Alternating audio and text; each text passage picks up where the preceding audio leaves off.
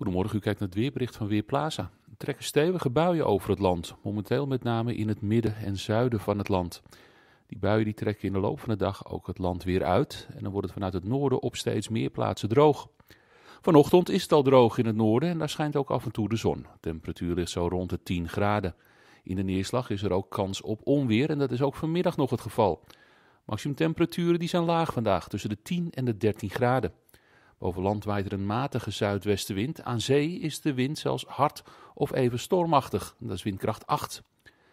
Vanavond wordt het op de meeste plaatsen droog en klaart het vanuit het noorden op. De temperatuur die daalt naar zo'n 7 tot 11 graden. En morgen begint de dag op veel plaatsen grijs door nevel en mist. Ook kan er hier en daar regen of motregen vallen. In de middag kan dan plaatselijk de zon even doorbreken. Het is dan zo'n 11 tot 12 graden. Op vrijdag begint de dag ook hier en daar met mist en er kan weer een bui gaan vallen in de loop van de dag. In het weekend blijft het op de meeste plaatsen droog.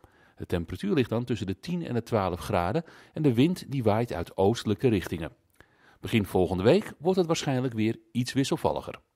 Mijn naam is Raymond Klaassen voor Weerplaza. Ik wens u een fijne dag.